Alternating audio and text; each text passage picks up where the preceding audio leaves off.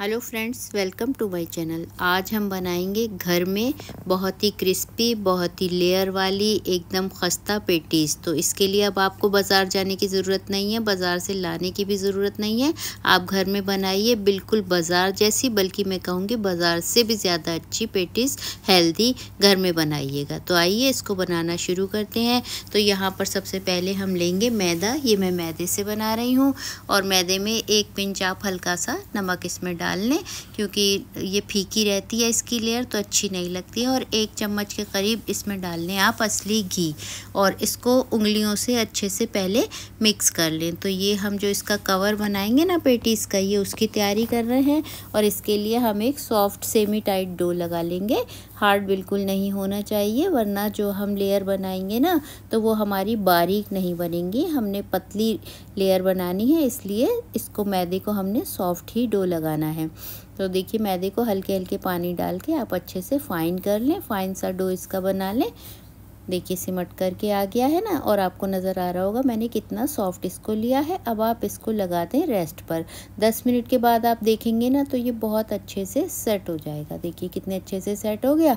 अब हम चलते हैं इसकी फीलिंग की तरफ़। तो यहाँ पर मैंने चार मीडियम साइज़ के आलू लिए हैं। आलू नॉर्मल है मेन है मसालों का खेल इसमें। तो आप चलिए, मसाले में आपको दिखा देती हूँ। तो यहाँ मैंने लाल मिर्च लिए आधा चम्मच आधा चम्मच नमक लिया है, आधा चम्मच मैगी मसाला लिया है, थोड़ी सी किशमिश ली है। काली मिर्च पाउडर, आधा चम्मच। आधा चम्मच मैंने लिया है आमचूर का पाउडर। थोड़ा थोड़ा सा लिया है धनिया कटा हुआ और भुने हुए ज़ीरे का पाउडर और आधा चम्मच लिया है पाव भाजी मसाला।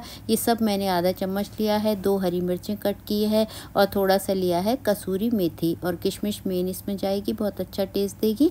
आप इसको ज़रूर डालिएगा और इसमें पाव भाजी मसाला भी मिक्स करिएगा, बहुत अच्छा टेस्ट आता है। दो चम्मच ऑयल लीजिए, बिल्कुल छोटे चाय के चम्मच।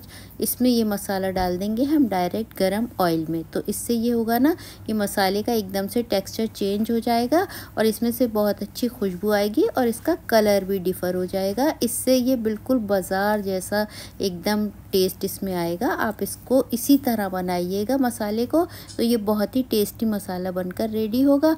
अब हम इसमें आलू जो हमने लिए थे ना, बहुत अच्छे से हमने मैश कर लिए थे, वो आलू इसमें मिक्स कर लेंगे। तो बहुत अच्छे से मिक्स कर लीजिएगा क्योंकि आलू और मसाला बिल्कुल एक सा हो जाना चाहिए।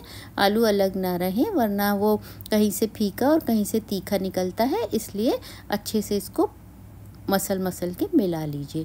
तो देखिए, बहुत सही से मैंने इसको मिक्स कर लिया है। अब इसको ठंडा होने के लिए रखिए और बाकी जो डो मैदे का मैंने आपको दिखाया था तो उसकी मैंने बना ली है यहाँ पर पेड़े। तो मैं यहाँ पर चार की लेयर लगाऊँगी, आप पाँच की भी लगा सकते हैं, या जितने आप पेड़े बना लें, आठ बनाएँ तो दो बार कर लें। इस तरीके से मैं चार लेयर के साथ आपको बनाना दिखाऊँगी। बहुत ही ज़बरदस्त पेटीज़ बनती हैं। अब एक बड़ा चम्मच असली घी ले करके उसमें दो चम्मच मैदा आप मिक्स कर लें। तो ये हम लेयर्स जब लगाएँगे ना तो उसमें हमारे बीच में ये काम आएगा। तो देखिए, अब हम रोटी बेलेंगे तो रोटी हमें काफ़ी पतली बेलनी है। तो यहाँ पर मैंने किचन काउंटर पर ही इसको बेल लिया है, मैं आपको दिखा रही हूँ कि मैंने कितना पतला बेला है। देखिए, नीचे से काउंटर भी इसमें से झलक रहा है। तो आपको इस चीज़ का साइन है कि आपको रोटी जो है ना, वो पतली ही बेलनी है और जितनी बड़ी आप बेल लेंगे ना, उतना अच्छा रिज़ल्ट आएगा। तो थोड़ी सी पतली और थोड़ी बड़ी रोटी बेलिएगा अब देखिए, जो मैंने लिक्विड आपको बताया था ना, अभी बना के दिखाया था, उसको मैंने इस पर अप्लाई करना है। इससे हमारी लेयर्स बनेंगी। जैसे कि मैंने आपको पहले भी कई वीडियो में दिखाया है कि अगर आपको लेयर्स बनानी है तो हम इसी तरह से बनाते हैं। और ये चार रोटियाँ मैंने बेल ली थी तो इन चारों को हम एक के ऊपर एक सेट करेंगे। और इस तरह से, देखिए, कोई भी एरिया आपका छूटना नहीं चाहिए, सब तरफ़ इक्वल लग जाना चाहिए, जो हमने असली घी और मैदे का गोल बनाया है ना। उसी से ये लेयर्स खुलेंगी। तो देखिए, इसके ऊपर दूसरी रोटी को भी बिल्कुल प्रेस करते हुए एयर इसके अंदर ना आए, इस बात का ध्यान रखिएगा और बहुत अच्छे से इसके ऊपर सेट कर दें। ये दो रोटियाँ हमने सेट कर ली हैं। अब हम फिर इसके ऊपर वो घी अप्लाई करेंगे जो हमने बना के रखा है और इसको फिर हाथों से फैलाएँगे। आप ब्रश से भी फैला सकते हैं। मैंने हाथों से किया है क्योंकि मुझे लगता है हाथ से ज़्यादा सही फैल जाता है। अब देखिए, इसको हम स्क्वायर कर लेंगे। जो इसकी साइड्स हैं ना एक्स्ट्रा उसको हम निकाल देंगे, इसको हम इस्तेमाल कर लेंगे फिर से। ये देखिए, इस तरीके से आप कर लीजिएगा इसको। थोड़ा ये मोटा है, अब इसको आप उठाइए और फिर से इस पर मैदा डस्ट करिए।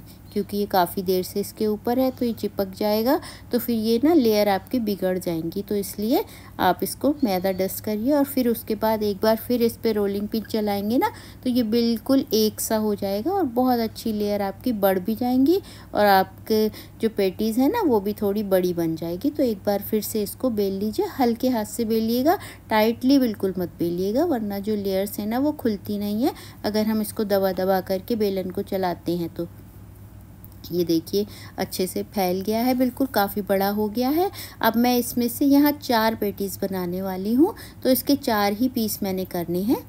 देखिए, इस तरीके से बिल्कुल बराबर के पीस करिएगा, ताकि आपकी पेटी से ना, वो बराबर से बने। आप निशान भी लगा सकते हैं और अंदाजे से भी कर सकते हैं, कोई इशू नहीं है। इस तरह से देखिए, मैंने कर लिया है। ये चार पीस मेरे बन गए।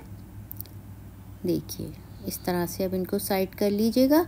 और फिर अब अब इसको भरेंगे हम आलू से। तो आलू को आप इस तरह से रखिएगा सेंटर में, क्योंकि हमने इसको ट्रायंगल बनाना है ना तो इस तरह से रखिएगा। ये चारों में बराबर से रख लें। स्पून के ज़रिए रखें या हाथ से कैसे भी रख लें। बस किनारों तक नहीं जाना चाहिए। आपका जो आलू है ना, वो बीच में ही रहना चाहिए। ये बहुत ही ज़बरदस्त बनने वाली है। आप ट्राई ज़रूर करिएगा और फिर मुझे बताइएगा कि आपकी पेटीज़ कैसे बनी है। तो देखिए, अब इसके बाद हमने क्या करना है? क्योंकि आलू निकल सकता है तो इसलिए हम ब्रश से यहाँ पर पानी अप्लाई करेंगे इसके चारों तरफ़, ताकि बहुत अच्छे से ये लॉक हो जाए। क्योंकि हमारा आटा जो है ना, वो चिकना है तो वो खुल सकता है तो आपको यहाँ पर पानी ज़रूर अप्लाई करना पड़ेगा और हल्के हाथ से इसको चिपका देना है आपने। बहुत ज़्यादा मत चिपकाइएगा इसकी एजेस तक, वरना इसकी जो लेयर्स है ना, वो नहीं खुलेंगी। बीच की साइड से चिपकाइएगा। अब देखिए ऑयल मैंने गरम कर लिया है, मैं यहाँ रिफाइंड ऑयल में इसको फ्राई करूँगी। आप जो तेल यूज़ करते हो, उसमें कर लीजिएगा।